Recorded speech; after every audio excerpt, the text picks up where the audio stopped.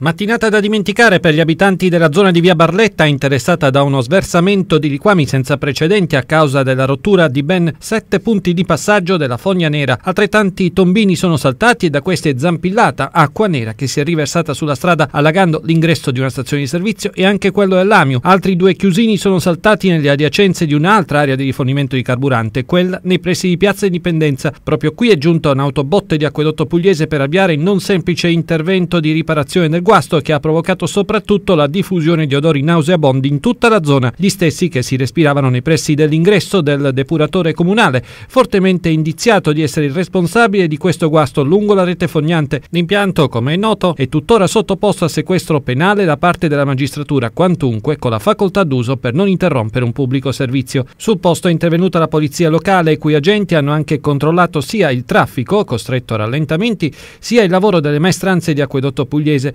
L'intervento è stato repentino grazie alla richiesta del comandante della Polizia Locale Antonio Modugno, del vice sindaco e assessore alla Polizia Municipale Giuseppe Di Marzio e dell'assessore all'ambiente Giuseppe De Simone. Proprio quest'ultimo ha anticipato che dell'evento sarà interessata la Procura della Repubblica in quanto a Palazzo di Città si presume vi sia effettivamente una correlazione con il sequestro del depuratore.